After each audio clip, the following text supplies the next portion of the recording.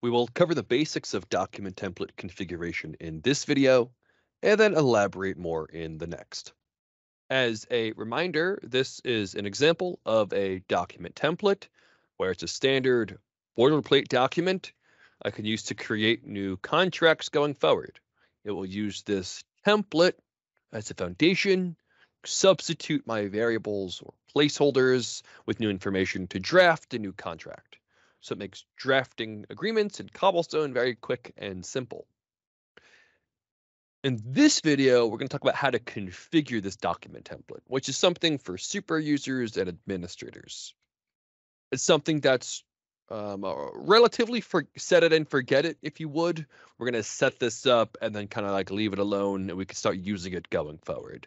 So the setup we're about to perform is not for end users. It's not necessarily a day-to-day practice exactly. It's something when you want to add a new template to your system or update an existing template you can do. Okay. Now, let's just set expectations for this, um, it, there's a bit of a learning curve to building document templates for the first time, but there's a relatively low ceiling of difficulty where once you learn the basics, you should be pretty much good to go on most standard document templates. They don't get that challenging. This is also a very practical thing to have configured or to learn how to configure uh, if your document templates are configured during implementation. Cobblestone did them for you as a professional service. It is very valuable to know how to manage your document templates going forward if you want to add new ones or more commonly, um, if you want to update them. So uh, it's very, very easy to go update, edit an existing document template to update the language, the standard language of the contract. So if I had a 2022 consulting agreement document and maybe I've been lazy or busy and I have not updated my consulting agreement to 2023, I can go just edit the existing template and bam, I have a brand new version of it. That's a very accessible thing to learn how to do. And that will be covered in this video, of course, as well as the configuration from scratch. So if that all makes sense, let's get started. I'm going to begin by going up to my main menu, down to manage setup, and then down to document templates, and then my template list. So down to document templates and my template list. From here, I have a list of all of the existing document templates in my system, and keep in mind that no document templates come out of the box. They were all user defined or created by yourselves or during implementation at Cobblestone. Also, they are organized by area or table of your system. So here's all my contract templates. Here's my like request templates. Here's my uh, procurement templates. They're separate, they're different. So just keep that in mind. If you want to go to the list and go edit a particular template and you don't see it, make sure you go to the right area to manage the templates only within that area. That's overlooked often enough. Now, of course, this is a list screen where I can filter and sort through the list. So I'm looking for any particular template, I can sort and filter. On the left, I can go ahead and click Manage Edit to manage an existing template, which we will do in just a moment. And over on the left, I can go ahead and create a new template if I want to. We're not going to create a new template today. In this training video, we're going to modify or manage an existing template. In fact, I'm going to manage this template we've already used as an example, my consulting agreement template. I'm going to go down to my consulting agreement template and click manage. And rest assured that managing an existing template or creating a new one is almost exactly the same thing. Okay, so here we are in our template overview, and now this will take me a few moments to explain, but rest assured, once you know it, it's very easy, very fast. So first, the title, call it whatever you want. Mine is just called consulting agreement, but you know, whatever you want to name your template, that's fine. The description, I usually shrug my shoulders, but feel free to add a nice, clear description if you want to template area, template table, and template type. Now, you'll almost put the same thing every time for these. Let me explain. Template area is the area or like module of the system in which you want to add the template to. right? And most often it's contracts and committals. I mean, we're working in a contract management system, right? So it's often contracts and committals.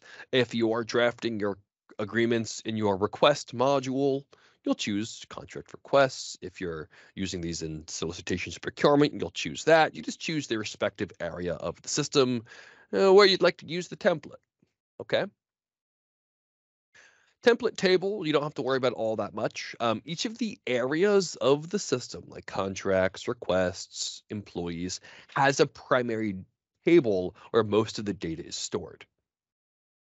Okay. What you'll do is you want to choose the usually the primary table uh, to build the template off of. But rest assured, uh, template table is considerate and will usually just default to be the primary table of the area that you selected. So in this case, I chose contracts and committals and then contract details populated by default. And that's it. I don't have to do anything else. It, it gets it right like pretty much every time. You know, if you're looking to build a very, very specific type of template, maybe you'll change it, but usually what it sets it as is is fine. Then template type. You'll choose document package here. Uh, in this initial training, is just choose document package. There's nuanced other reasons why you would choose other types of templates uh, in this dropdown, but for this example, we're just going to be going through document package, which covers most of the templates uh, organizations use in Cobblestone. Next, we have email on change. If you input your email address here, uh, you or, or someone else will be notified every time someone makes a change to the document template, uh, which we don't do very often. One, you might get a lot of emails. Every time someone makes a modification to the template setup, you'll get an email. Uh, and two, I mean, you probably trust the folks who have permissions to do this, to manage your document templates. So it's not something we touch uh, very often. So you want to be very cloak and dagger about your templates. Um, we just usually leave that blank, but feel free if you want to. That's fine. Next, we have is active template. Um, if you want to use this template now or in the future, put this to yes. If you want to retire the template but not delete it from the system, which would be advised, uh, turn that to no. The next two, participant authentication and allow IntelliSign, uh, are both used if you have the document collaboration add-on module, which we won't be covering in this video here. So we're going to bypass these and circle back to them in a, a later training. We'll go ahead and click save, or in my case, update at the bottom, and that will complete the overview. Now, I need to explain that document templates going forward, the rest of the configuration is done in a bit of a three-step process. A three-step process. Step one is going to be adding, uh, choosing the data that you want to merge into the document. So choosing my fields, my clauses, my placeholders, choosing all of the information that I will want to merge in. That's step one. Step two is done in Microsoft Word, where we're going to take the placeholders from the system, the things highlighted in yellow here, uh, and basically create our template in Microsoft Word. We're going to format the document in Word. We're going to format it, copy paste the placeholders in, make sure this looks perfect and beautiful. We'll save it, and that completes step two. After step two, we have a completed document template, but it lives in Microsoft Word. So for step three, we simply have to go back to Cobblestone and upload the document template into the system. All right, so again, step one is choosing the placeholders. Step two is formatting the document in Microsoft Word. And step three is uploading the final template into Cobblestone. So let's get started. I'm going to go to my side menu, and right now we are in template overview. We want to go down next to mergeable fields. In mergeable fields, I'm going to be choosing the data I want to merge into the document. So I can choose my type name, my effective date, my counterparty name, and so on. Any data you want to merge in, simply choose the field on the left-hand side, say the contract title, click the right arrow, and now it's assigned in the selected fields list. All of these fields selected on the right are going to be able to be merged into the document. This is data that will be able to be merged. a few things here. The order of these fields doesn't really make much of a difference. While you could reorganize them vertically, you don't really need to. Uh, same as the display name, you could change it, but it doesn't really make that much of a difference.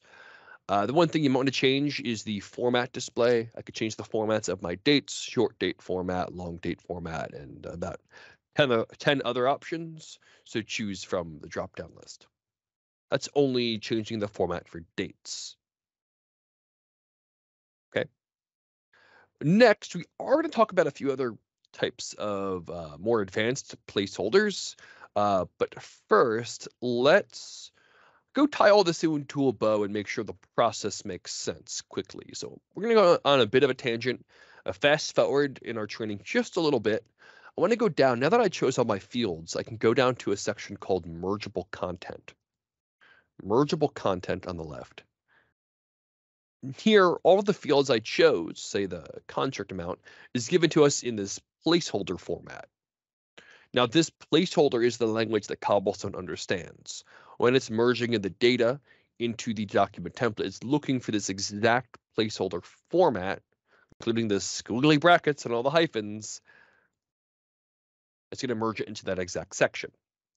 So I want the contract amount to merge into my template. I'm going to open up my template in Microsoft Word and paste in the document wherever I want the data to live. Like that. So now if I save it like this, the contract amount will merge in that exact location.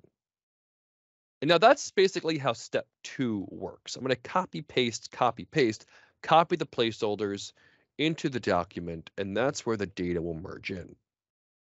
So that's an important process, and you're doing these exact placeholders that come uh, from the system. So you choose the fields in step one, and then in step two, you're going to copy and paste the placeholders into the document to format the document. There's some more principles to follow about formatting the document that we'll talk about later, but the, this is the gist of it. From here, you're going to save this once everything's looking perfect. Go back to Cobblestone, and right beneath mergeable content, you can go to attachments, and you can upload the final version.